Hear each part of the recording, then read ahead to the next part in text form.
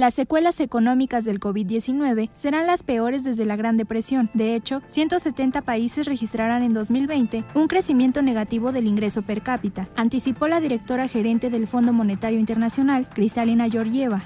Señaló que hace tan solo tres meses se esperaba un crecimiento positivo del ingreso per cápita en más de 160 de las naciones integrantes a la organización, pero ese número ha dado un giro de 180 grados.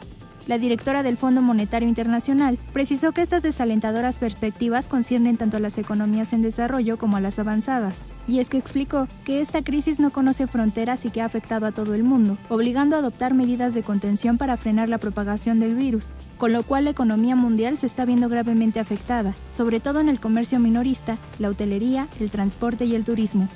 Cristalina Georgieva comentó que en la mayoría de los países, la mayor parte de los trabajadores son independientes o están empleados por pequeñas y medianas empresas, lo que los hace especialmente vulnerables. La directora gerente del organismo internacional detalló que 2020 será extraordinariamente difícil si la pandemia se disipa en el segundo semestre del año, lo que permitiría un levantamiento gradual de las medidas de contención y la reapertura de la economía.